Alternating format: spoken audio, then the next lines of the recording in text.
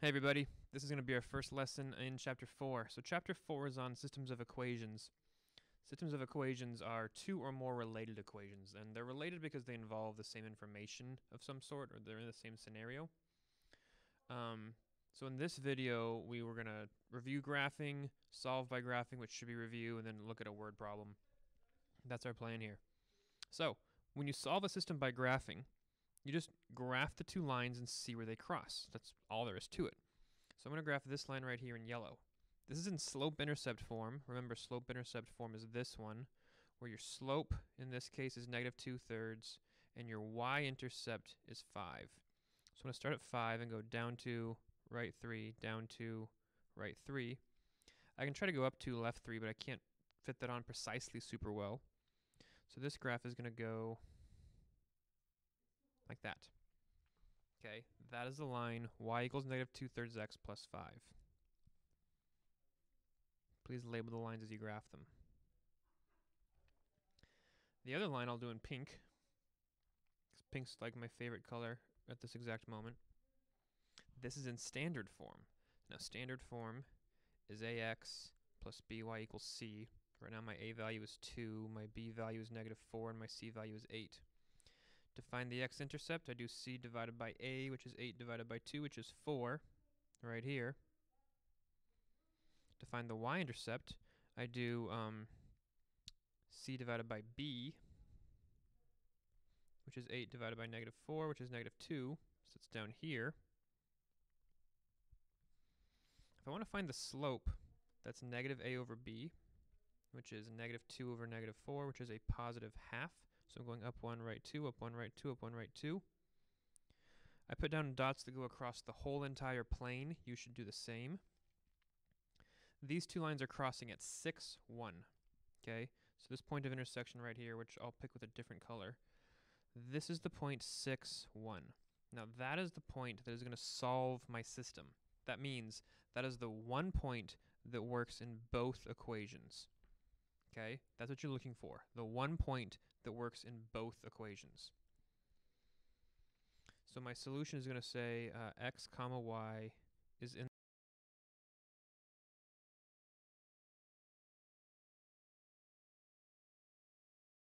1. That is how you should be writing your solutions. Now notice a few things that I did. When I graphed the lines, I labeled some points on each line. I clearly labeled the point of intersection. I labeled the line itself. I used a straight edge. I had a graph with labels on the scales. All those things matter. All those things are important. I'm going to grab this and pull it out of the way over here.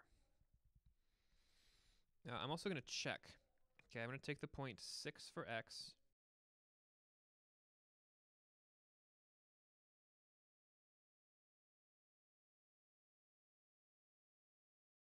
equal 8, so there's a check.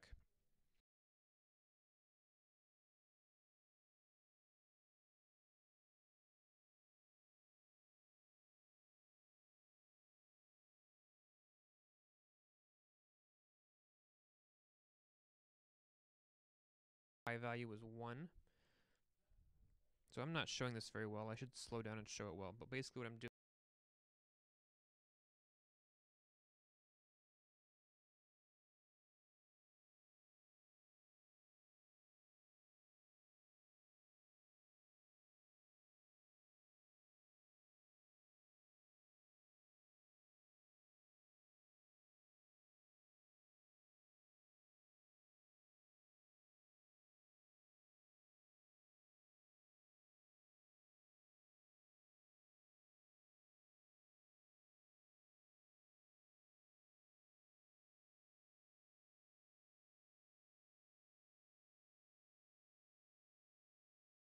I have is 2, negative 1.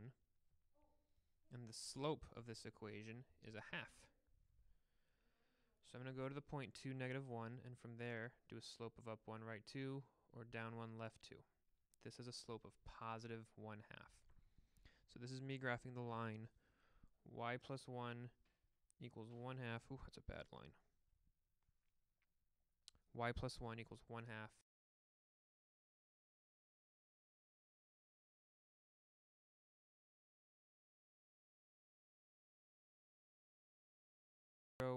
or 0, negative 2, and that's a good line. Okay, let's do this one in this bright green color.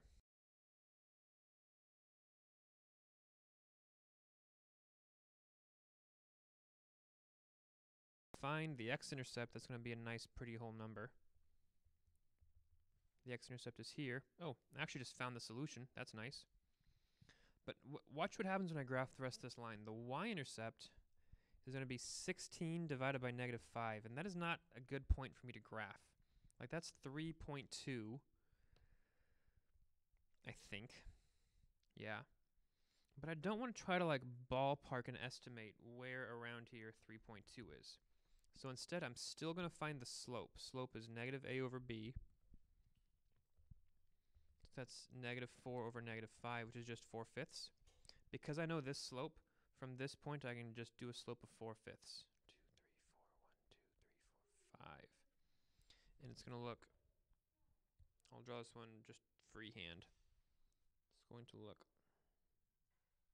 like this. So this is the line 4x minus 5y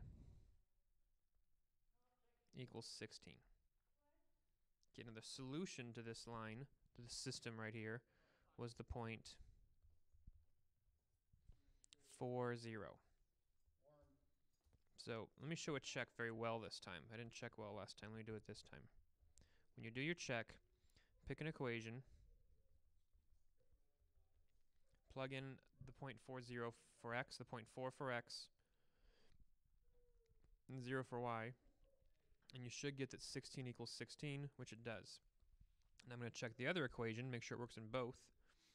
So I have y plus 1 equals 1 half times x minus 2. But my y value is 0, so this is plugging in for y.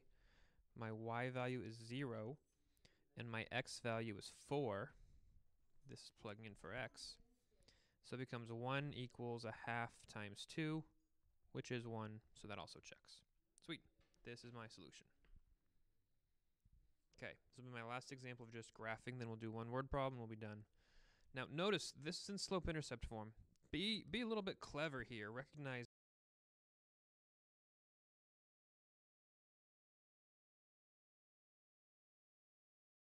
they're going to be parallel or they're going to be the same line twice. Those are the two options here. We've got to figure which one it is. Well, 2x plus 3 graph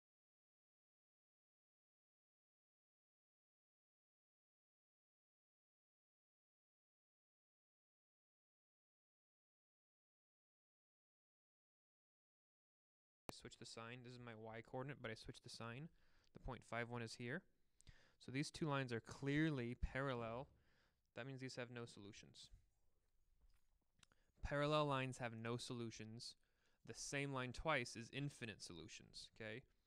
So parallel lines, no solutions. The same line twice, infinite solutions. And, I mean, yeah, sure, I suppose I should be doing this and doing this and doing my labels and stuff. So this is why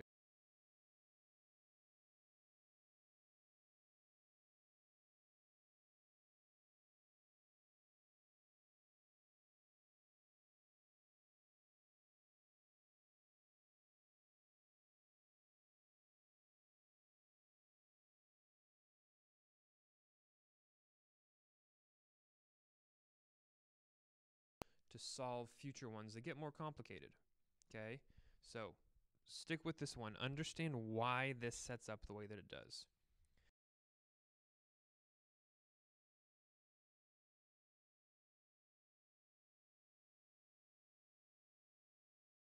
How long until you have the same amount of money? And how much money is that? So there are two things we're trying to find. And if you remember from our last word problem unit, whenever you have these word problems, you define variables first. There's two things we're trying to find. X is going to be time, and that is going to be in weeks. And Y is going to be money, and that is going to be in dollars, as opposed to like, you know, rubles or yen or something. I need an equation for each person. There's the equation for you and me, and there's going to be the equation for our brother. Now, for you and me, our money, Y, is equal to $10 we get per week times the number of weeks plus our initial starting amount of $60. This is our starting spot. This is our change. Okay? The slope is the rate of change. The rate of change is your slope. So we're starting at 60 and we're gaining 10. Our brother, his money, well, he is starting at 120,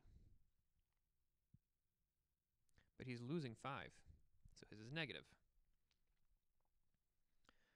He's losing $5, so he has a negative slope, but he started at 120. We're going to graph these two equations and see where they cross. And to graph them, um, I want to have a nice scale counting by, uh, my, my money should go by tens, right? So 10, 20, 30, 40, 60, 80, 100, 120. If the money counts by tens, I can fit it on there really well. If the um, weeks counts by ones,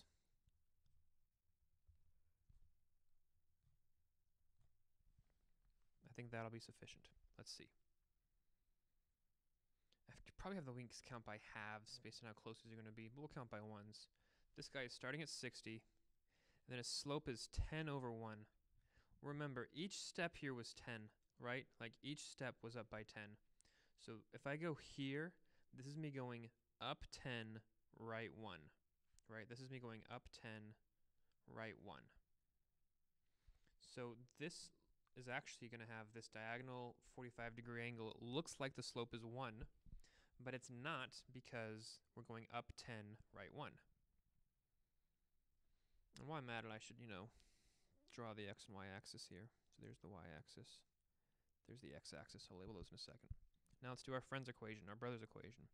He's starting at 120, but he's losing $5 a week. Well, losing $5 every one week is the same as losing $10 every two weeks. And I like to have the number 10 because this is still counting by tens over here. So I'm going to go down 10, right 2, down 10, right 2. His equation looks like, or his graph looks like this. We intersected at the point 4, comma 100. So that means in four weeks, we both have $100.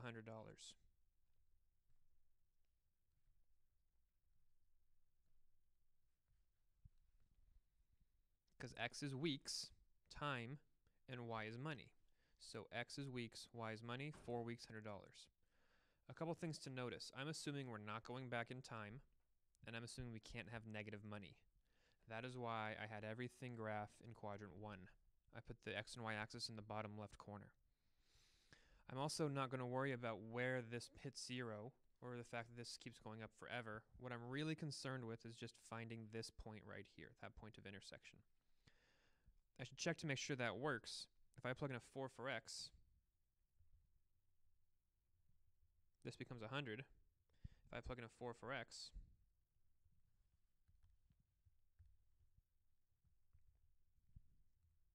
this becomes 100. In four weeks, we have the same amount of money. All right, thanks everybody. We'll do some solving by substitution next time, and we'll get to some more complicated word problems. It'll be great. See you then.